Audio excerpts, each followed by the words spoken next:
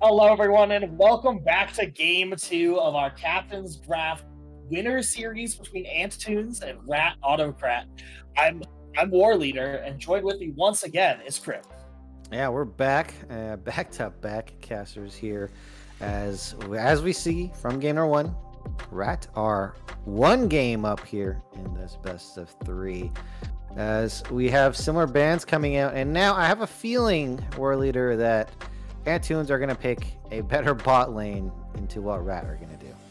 Yeah, I'm a little surprised to see them throughout the same bands, especially with uh, Kaori Zed dominating the mid lane, Pike in the support position.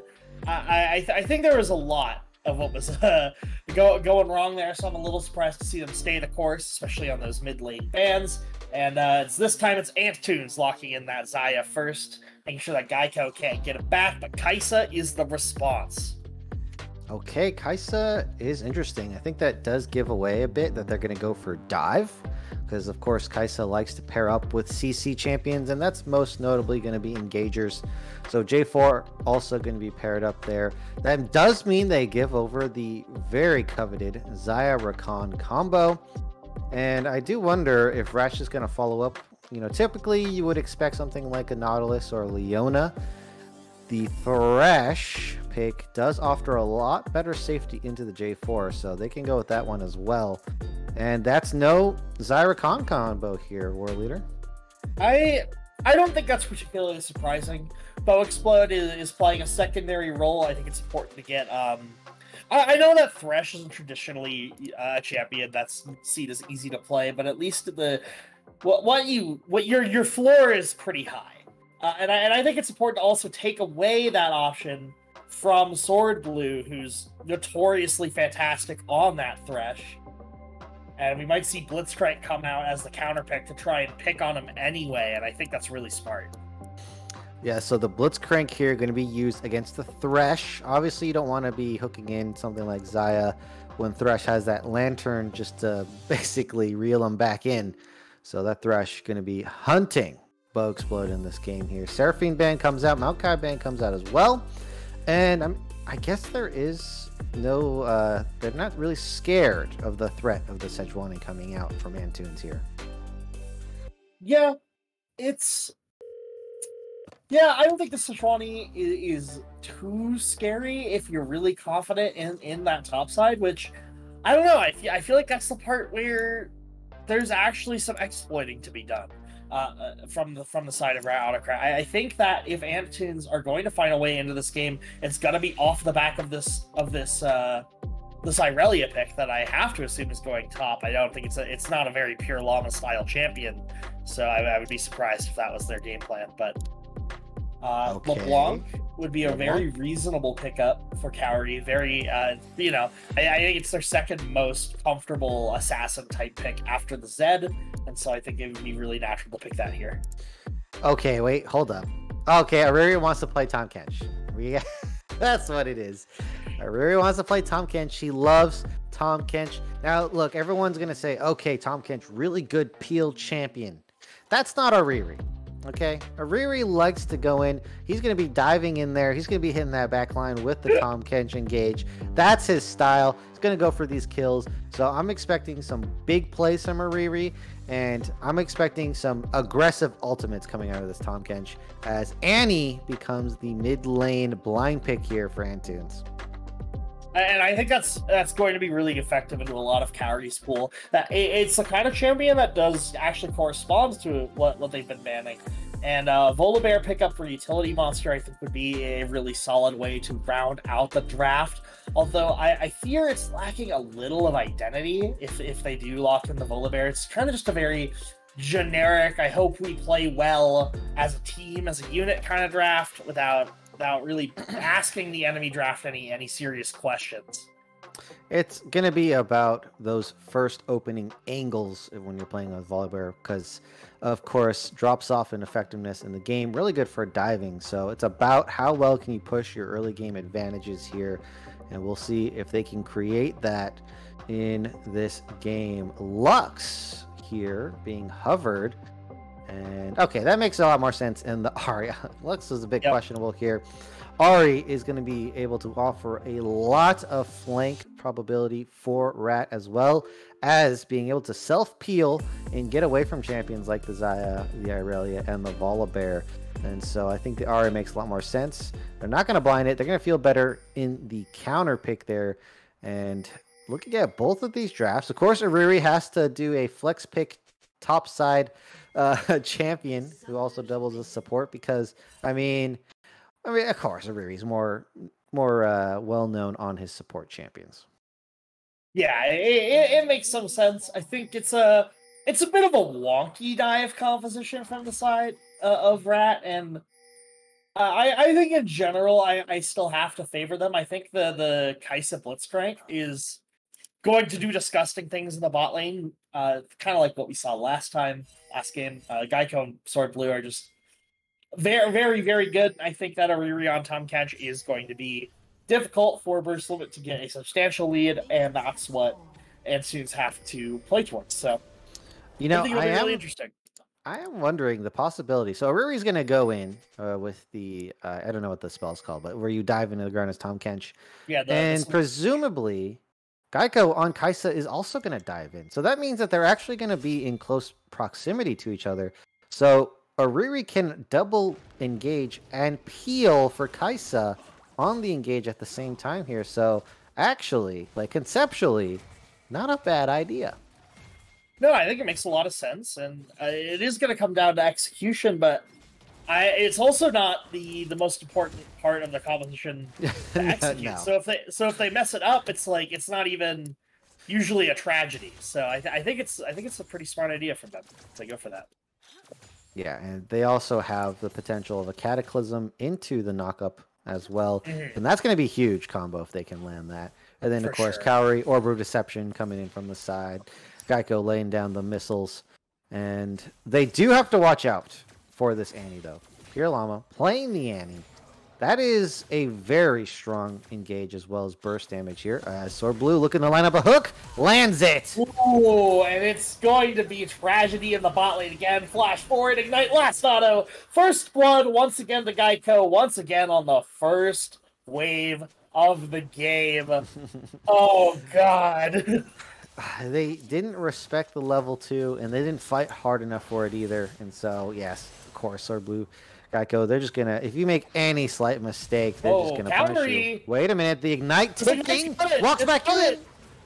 Oh no! I mean, pops the health potion and then walks back in there. Where I mean, I mean, Yeah, I don't think that's, you. Either do one or the other. You go for the kill, or you just disengage entirely. That was a little bizarre, I'm not gonna lie. Uh Cowrie really just really misevaluating the minion wave. Uh it doesn't go well. Hey, we're here for big plays, and you know Yeah, what? I'll play. take it. I'll take it either way. So Pure Llama up in the mid lane on the Annie, who I also highlighted as potential for real big engage for the team of Ant here, and if they can catch Kai'Sa with that Tibber stun, that's going to be huge. Sword Blue is also doubling up as a stealth ninja assassin here, and Avi walks by, and now they have the perfect angle. Oh wait, the Yeah. Can Oh. you get oh. to it? Trying to get The to it. hook away. Oh, it's not gonna happen. Gets the shield, doesn't get out. Bow explode, even has to flash out at the end, but counterplay in the top side. They're diving onto a re-ring. Wait, one more? monster. Oh my goodness! Barely Oh. not being able to get out from under the tower, which Okay. really takes the, the the air out of the sails on that play. But I, I overall, I think the play on the top side is still good for Antunes. It's just nowhere near Uh, good enough to mitigate the It, it's pretty close side. to even because Ariri's just going to teleport back, pick up the rest of the wave. It's not like they crashed it either. Bot side, though, they're looking to double up on this engage. It's just brutal Oh, down here. If they pull this off, and Navi's level two won't last that long. However, Okay, we have utility is good. Sword Blue drops really low. Is he going to fall first? Yes, he is, but they do trade over. Geico does drop the aggro on the turret and now walks right out of there. Brian, the last one standing here. That is too far deep. And they're going to go for a double knockup. And now Boxplode misses the hook. Hey, Geico, he has to kite this out. There might be enough damage in the kit. The shield comes down. The just monster flashes in, but they get the turnaround. And now Geico 1v1 with support. We know how that's oh, going to go. Oh, no. Pure Llama on the flank. There's so much action happening here. Speed boost with the shield. Going to go for Brian saying first. Okay. Is landing the autos. The execute picks oh, it up. Oh, Don't even need to use the last flame there. The autos yes! coming down. Any autos are overpowered and gets the last hit kill with the oh Q onto Geico. Uh, can we see the gold differential on these champions here? And okay, okay. that is 2x gold, pretty close on both sides of the matchup of mid and AD carry here. But War Leader, um, I was not expecting that. No, I don't think any sane person would. It, it's such a nice edge from everybody involved, and uh, it's still it's still in favor uh, of Rat, who I mean, the five and one Kai'Sa is going to be a problem all game. I think that Utility Monster uh, saw red a little too hard there uh, on the fight, and the lethal tempo got stacked up, and Geico was able right. to dish out disgusting amounts of damage. But but Pure Llama is playing significantly better than what we saw last game and is actually going to to provide some counterplay opportunities and I, and I think that is going to be really important to have the the solo lanes from the side of, of Ant get involved and get strong and try and mitigate what has been a, a bit of a bot gap all series. Okay, Pure Llama does have Tibbers to block. Is going to be able to dodge and gets the counter engage right into Cowrie and just absolutely One murders the Fox here. Oh, they get the re-engage. Geico's not level 6 yet, but they might have enough CC to get the AD carry in position. Walking away here, misses the Void, and now Utility Monster is able to get the flank. And Pure Llama, 5 and 0. Ooh, the flash hook from Sword Blue. It was ambitious, but it doesn't pay off here as they get corralled back to their turret. And now, I mean, 300 gold bounty onto Pure Llama. Uh, and now we can say Ant Tunes have the lead war leader. Oh, it happened. We weren't sure, but uh, whoever bet on the money line of Ant Tunes ever having a gold lead, well, hey, they got there. And hey, I mean, Pure Llama playing out of his mind right now, and it's given it's given uh, Ant Tunes a real possibility in this game. I do think Annie being fed is significant because if Geico dives in the backline, despite the shield of Kai'Sa, there is a lot of burst damage in Annie's kit, especially right now. So is going to prevent Geico from getting optimal damage onto the backline. Has to play more carefully and assess whether it's time to dive or not. And that's going to reduce the Kai'Sa effectiveness, in my opinion, here.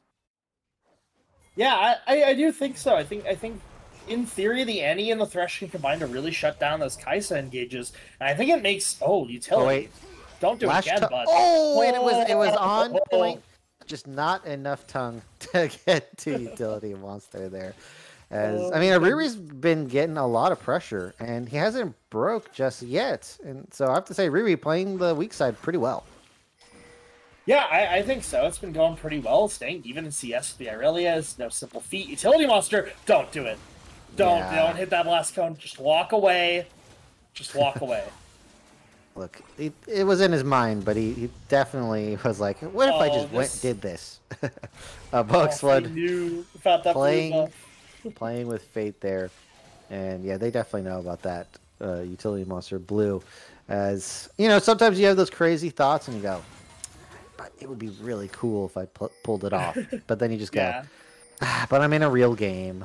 I'm in a game that matters. Can't just mess around and do all the fun stuff. Yeah, in a normal game mode, you just go in. You don't care. Right oh, there. yeah, for sure. All right, so this is going to be spotted by that ward into the dragon pit, but I don't think they have good vision on the dragon. They don't have a view of the HP as I thought. They perfectly kite it out right to the edge. They could go a little farther, but good enough here and without Utility Monster, I don't see any reason to hang around and let Sword Blue land another hook on you. As they do pick that up, and the Dragon advantage goes to Rat, and the gold lead back in their favor with the Rift Herald. And so a series of good plays means that Rat have found their way into advantage yet again. Yeah, and they're they're going to need to play a little more, I, I, think, reserved than they did in their last one. They had definitely had a lot of times where they got ahead of themselves. And uh, and this time, Antunes have have a be- just a better composition, and they're playing better too. They found advantages in the mid lane. They found a small advantage in the top lane, uh, and so they're gonna have to be a little more reserved. But we we've seen the spot lane, especially do Oh, aggressive play. here. Okay, the hook goes wide from Sword Blue, but burns the Featherstorm. And so now Navi has lost a very important defensive ability. Burst Limit looking for a bit of a tricky play of, over the wall against Cowrie here. Pure Llama has the stun.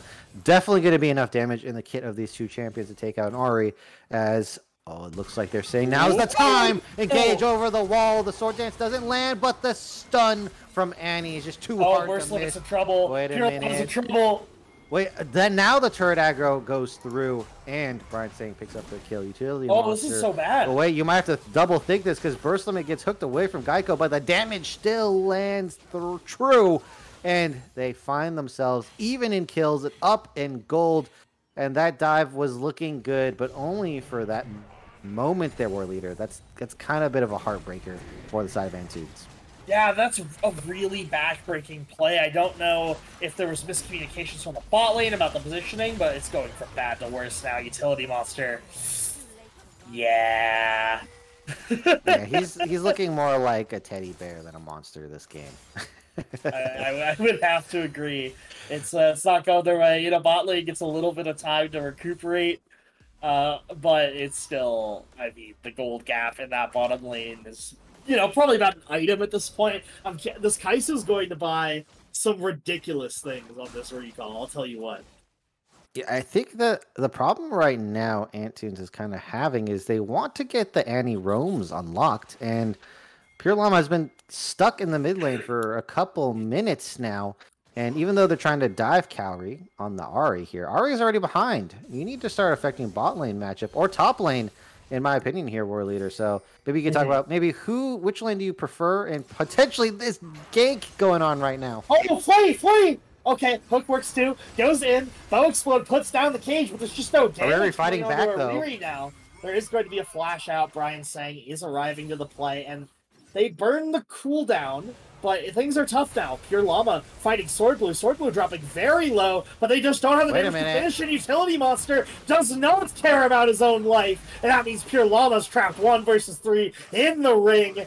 Bow explode and burst limit. Uh, can't can't decide where they want to go. Burst limit trying to finish off a Riri is going to throw out all the Wait. stops to get it, but the lantern it comes out. Burst limit tries to get out. Zero HP is going to get dropped, and Geico is the cleanup crew. Ten kills, 12 and a half minutes.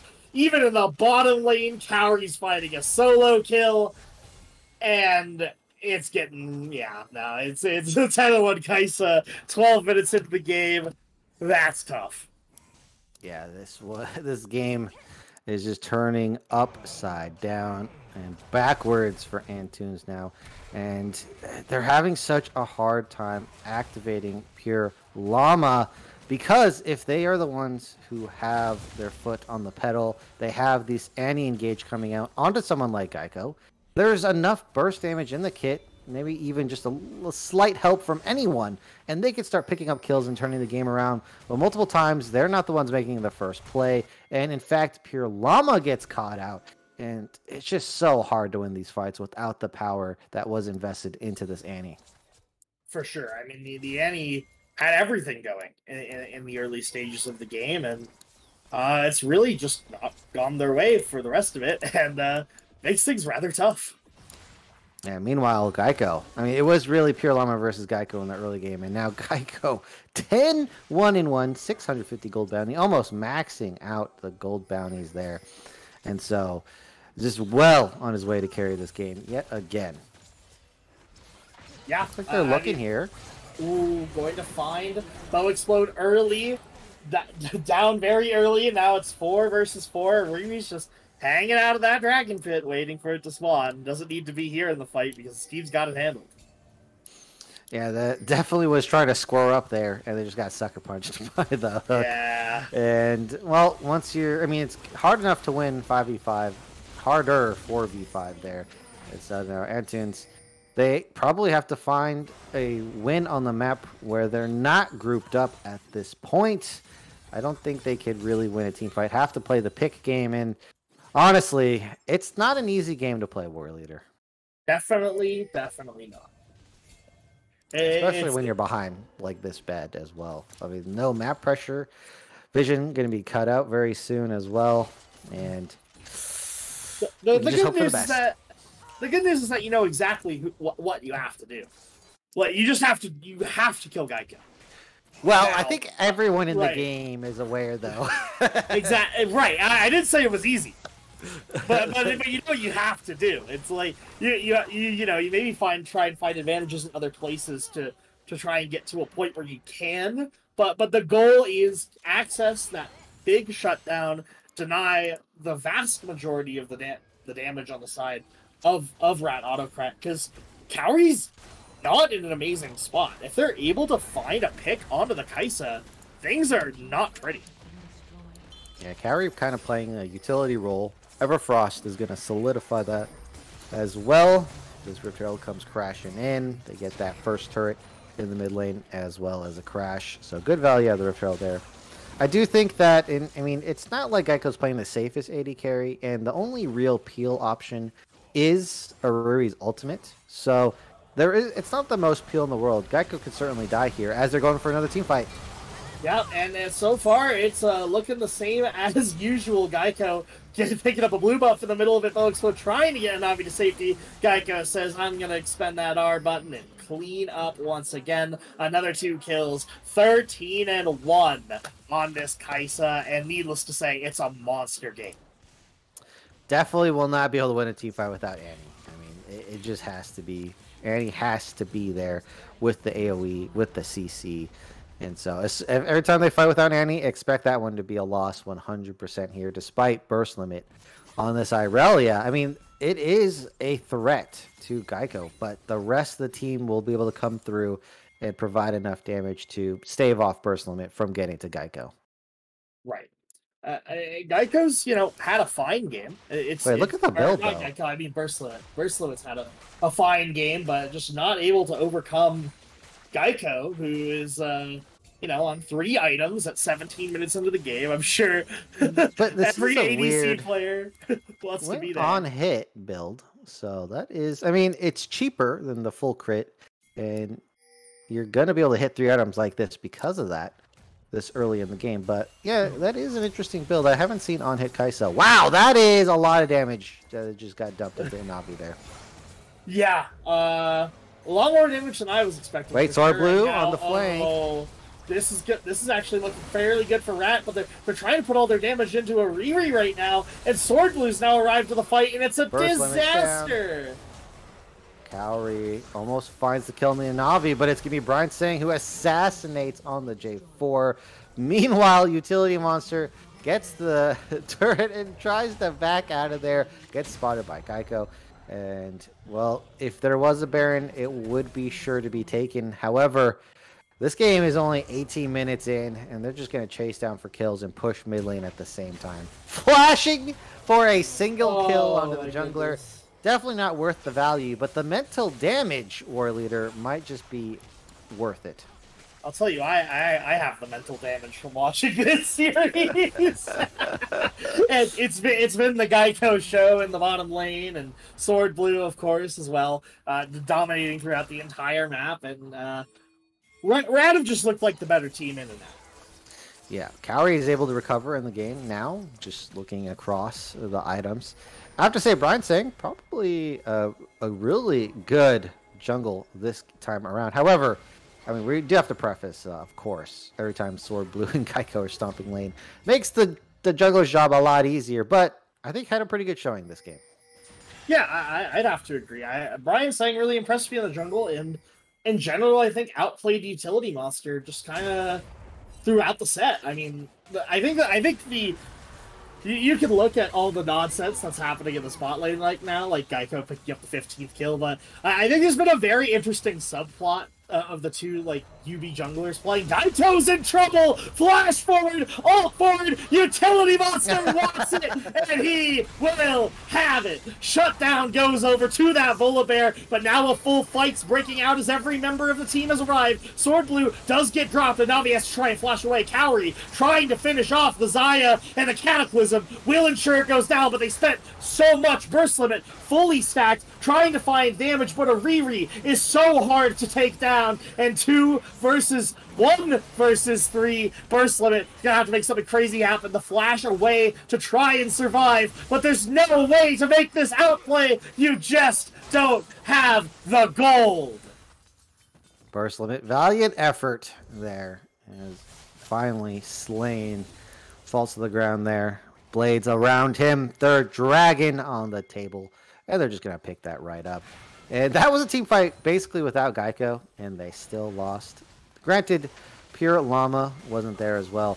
I do have to say, was 5 and 3 on the Annie, right? But still manages to do 80% of Geico's health bar with the Wit's End. So, yeah. like, mages are just so strong against AD carries if they're in position, of course.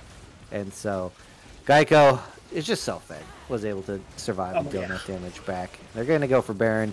And I imagine, I mean, look, we, we definitely thought the game was over. But, I mean, this is the cork into the bottle. That is the end of this game here. Yeah, uh, you know, the minions are going to be wearing purple. There's a 15 kill Kai'Sa. Everybody's positive except for the support. Sword Blue gets another hook. Now Navi gets another get, kill. oh, they're chasing down utility monster again. This has happened many yeah. times as well. a lot of uh, running away on the bear, and despite the movement speed, is not going to be able to make it out. Uh, three members down. They're going to get this inhib. Do they go for the end? Are they going to put them out of their misery?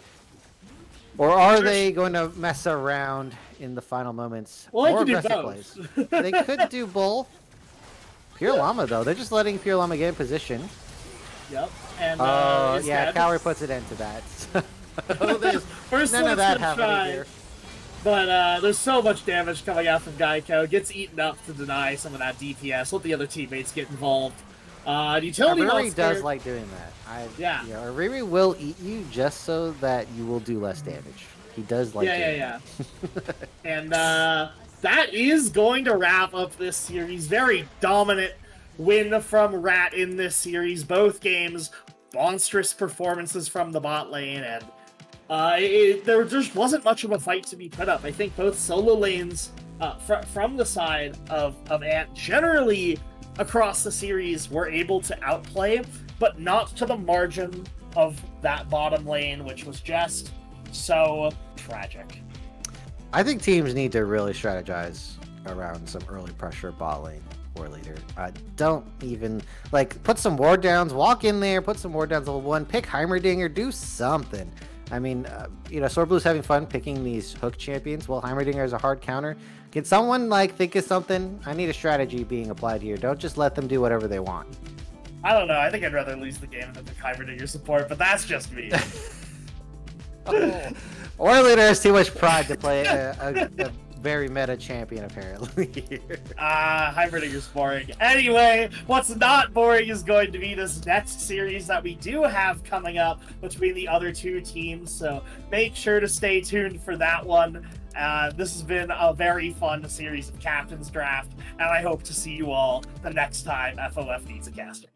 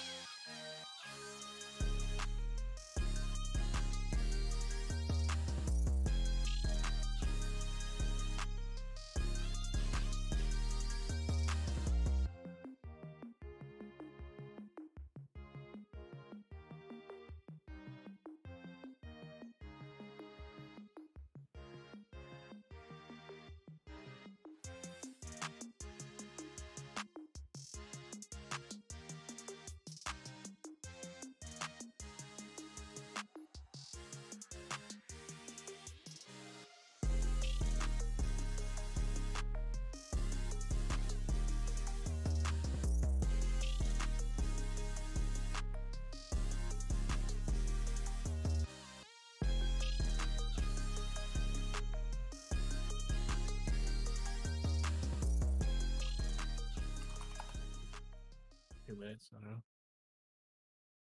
Huge transition. Yep.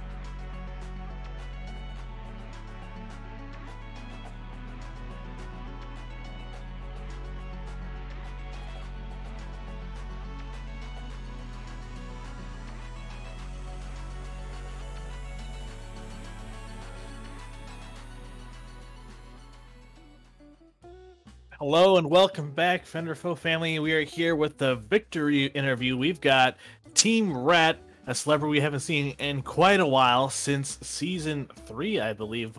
Uh, Rat, or previously known A Click Sword Blue. How are you feeling after your victory, my friend? Good. Um, it was it was a lot of fun. Yeah, you know, and uh, you know the, the format of the tournament, you know, being the captain's draft. I'm sure it was uh, kind of a fun thing for you to come back and figure out, you know, some of these new faces that people have gotten to know. So, how has it been, you know, kind of figuring out your guys' team dynamic and, and, and leading up to the event?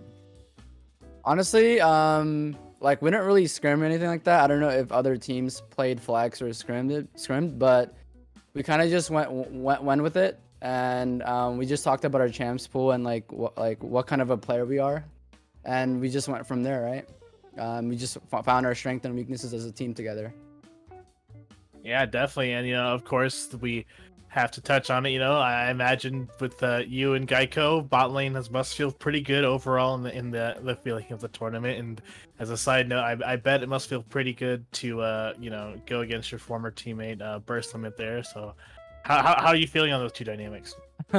yeah, honestly, uh, Geico's a really, really, he's a really good AD carry, and you know I have a lot of respect for him.